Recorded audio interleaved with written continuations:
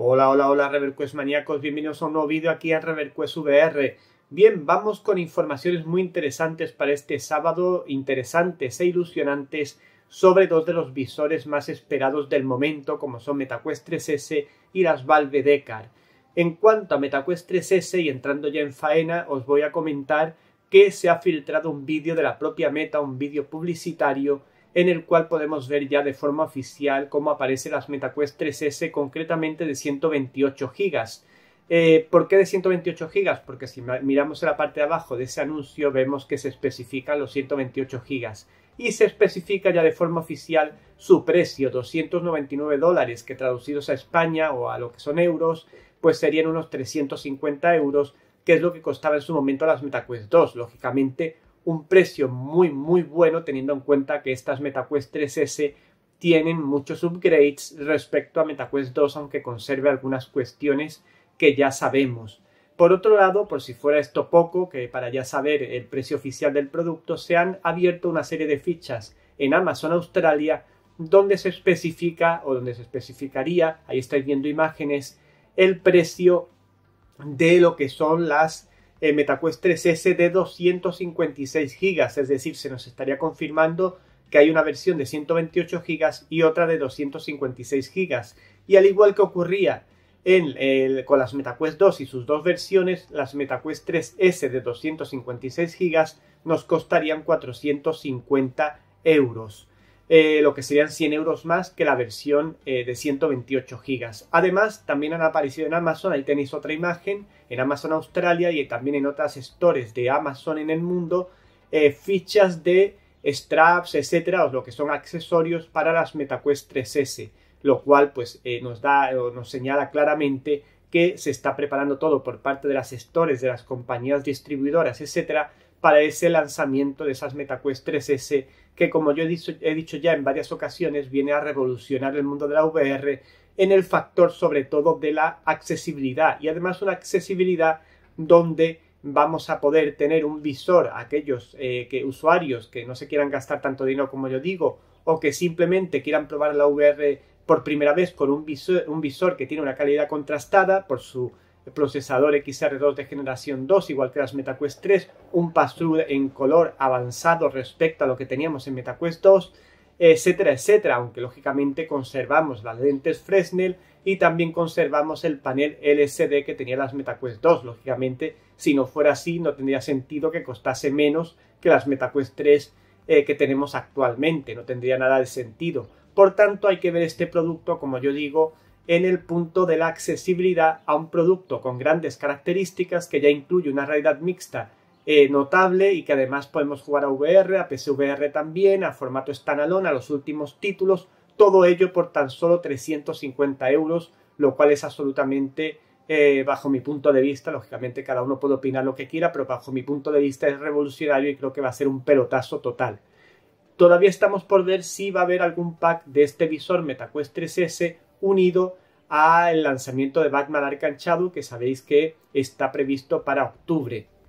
Por tanto, pues pocas cosas nos quedan ya por saber de MetaQuest 3S en este momento, pues ya sabemos prácticamente el precio de sus dos versiones, sabemos sus características, por tanto lo único que tenemos que esperar ya es el pistoletazo de salida. Por otro lado, se circuló un rumor en un momento dado sobre estas MetaQuest 3S después de este aluvión de noticias al respecto de que podía ser que, eh, bueno, pues que no tuvieran mandos, que vinieran sin mandos. Esto se ha eh, negado por parte de varios usuarios que tienen eh, información directa de estos visores. Además, por mi parte, puedo añadir que no tendría ningún sentido que se vendiesen estas MetaQuest 3S sin mandos porque, eh, bueno, pues los que defendían este aspecto era porque el visor costaba muy poco dinero para las características que tiene y, bueno, pues el venderlo sin mandos podía ser más efectivo para Meta, pero a mí me parece que sería un error y ya se ha confirmado prácticamente, aunque ya lo veremos en el evento de la semana que viene, se ha confirmado que vendrá con mandos, con los touch, sin ningún tipo de problemas. Y enlazado a esto, también tengo que comentaros que los MetaTouch Pro, esa versión que se, de los touch que se conectaba a las MetaQuest Pro, que vienen con las MetaQuest Pro y que se pueden vender por separado o se venden por separado, pues ahora cuestan 50 dólares menos. Ha bajado su precio a 250 dólares. Yo en, en todo caso no recomiendo su, su compra por varios factores. Por un lado, porque las baterías duran bastante menos que los touch. Es verdad que tienen varios motores más eh, para el tema de, la, de, lo que es la vibración y demás, pero que tampoco creo yo que nos vaya a aportar tanta diferencia. El, lo que es el tracking sí es más cómodo porque es por cámaras, pero al ser por cámaras a su vez hace que sea menos exacto. Eh, eh, he estado eh, leyendo información al respecto y he visto que, que, no son tan convenientes, sí a lo mejor a nivel de trabajo, pero no tanto a nivel de gaming, que se usan de forma muy masiva. Por tanto, pues a pesar de esta bajada, yo en su momento tuve la tentación de comprármelos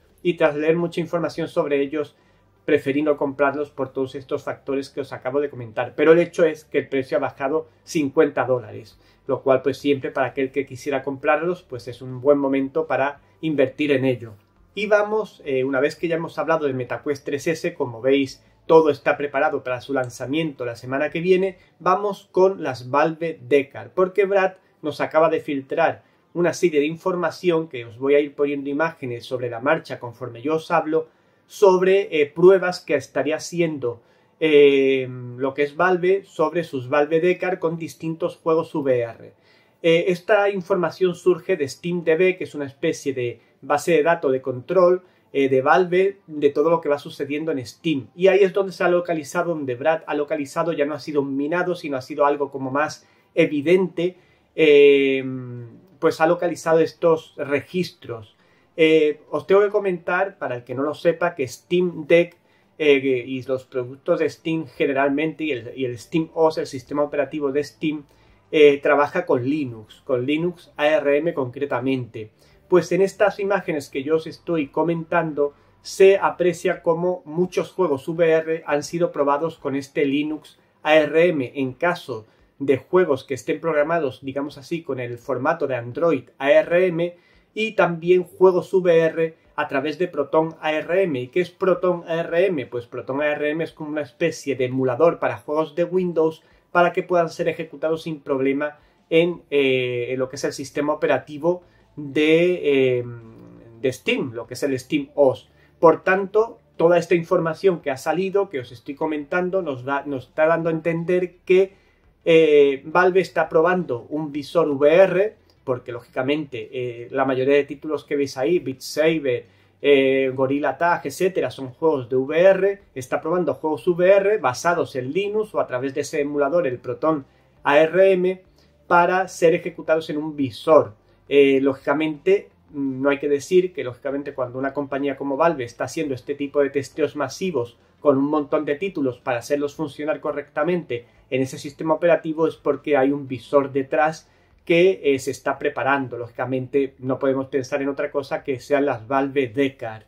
Por tanto, eh, pues la gran noticia de esto que os comento es el hecho de que nos da una prueba fehaciente de que eh, Valve Decar sigue existiendo, de que Valve Decar puede estar ya muy cercano a su anuncio oficial, no sabemos lógicamente exactamente cuándo, también a esto hay que unir las noticias que os he dado en diversos días sobre ese supuesto nuevo Half-Life, el HLX, eh, o esos Half-Life, porque no se sabe si es uno, si son varios, si hay VR, si no hay VR. Hay un montón de información al respecto y si unimos todo esto y que está sucediendo todo en muy poco tiempo, pues podemos eh, intuir que dentro de muy poco podemos tener Valve Decar eh, al menos anunciada y pendiente de hacer las reservas correspondientes y salir ya de dudas sobre si este Valve Decar va a ser ese revulsivo de PSVR que todos esperamos o no. En todo caso, esto ya digo es una prueba muy fehaciente de que Valve está trabajando en algo, eh, además eh, claramente referido a la VR y con este sistema Linux que ellos utilizan tanto en la Steam Deck como en general en su sistema operativo para que todo sea funcional y además que el rendimiento sea mucho mejor que en sistemas Windows o en sistemas Android. Esto incluso, fijaros hasta dónde puede llegar esta noticia, porque esto incluso abriría las puertas a que juegos de Quest,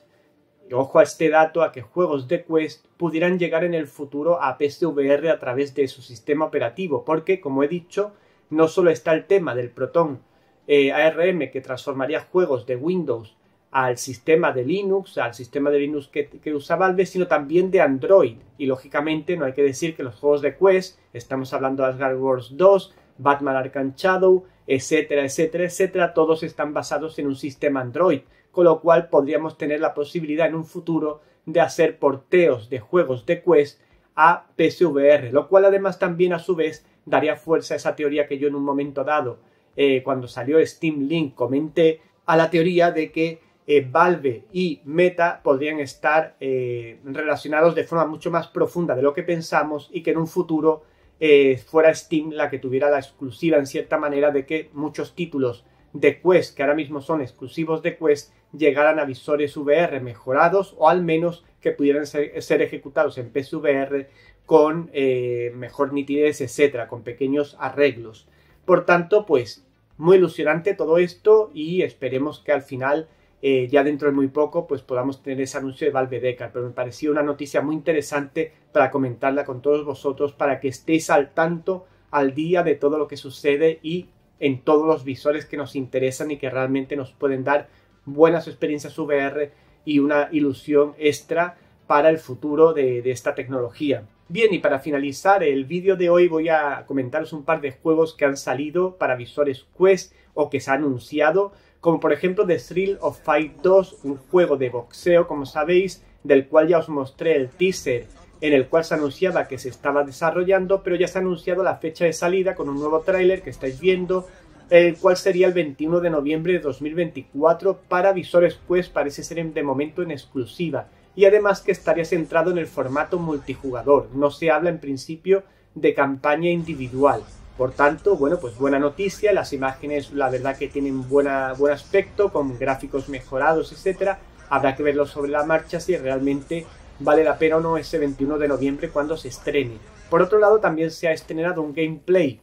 eh, por parte de, de, Vértigo de Arizona Sánchez en remake eh, jugándose en unas quests, ahí estáis viendo también algunas imágenes y la verdad que pinta muy muy bien, los gráficos lucen estupendamente, yo creo que se han utilizado, eh, yo no sé si esta versión de Arizona Sunshine Remake será especial para MetaQuest 3, pero desde luego los gráficos que se ven son muy mejorados respecto a otras versiones de este juego y bueno, pues quizá tenga varias versiones, una para Quest 2 con peores gráficos, pero la que se ve en pantalla, la verdad que tiene una pintaza increíble para ser un visor Quest y eh, pues esa fama que tienen de, de, gráficos de dibujos animados y ese tipo de cosas cuando estamos viendo cada vez más títulos, de ahí también la importancia de la salida de MetaQuest 3S que tienen cada vez una calidad gráfica y visual bastante impresionante y acercándose peligrosamente, como yo digo, a Sony PSVR 2 y a PSVR. En todo caso, todo esto tendremos que confirmarlo lógicamente cuando tengamos los títulos en la mano y ya os daré yo mis impresiones de esos títulos si realmente estamos eh, eh, ante ese paso que todos deseamos de acercarnos definitivamente en todos los aspectos a lo que sería un juego de PSVR o de Sony PSVR 2 en visores Quest. Y bien, pues con esto acabamos el vídeo de hoy. Me ha parecido un vídeo que yo creo que es muy interesante para los ReverQuest maníacos con, ese, con esas eh, noticias ilusionantes y bueno, pues espero que lo disfrutéis, que lo hayáis vivido intensamente y seguiremos lógicamente con más vídeos a partir de los próximos días. Así que bueno, pues que paséis muy buen fin de semana y nos vemos pronto aquí en ReverQuest VR. Chao, chao.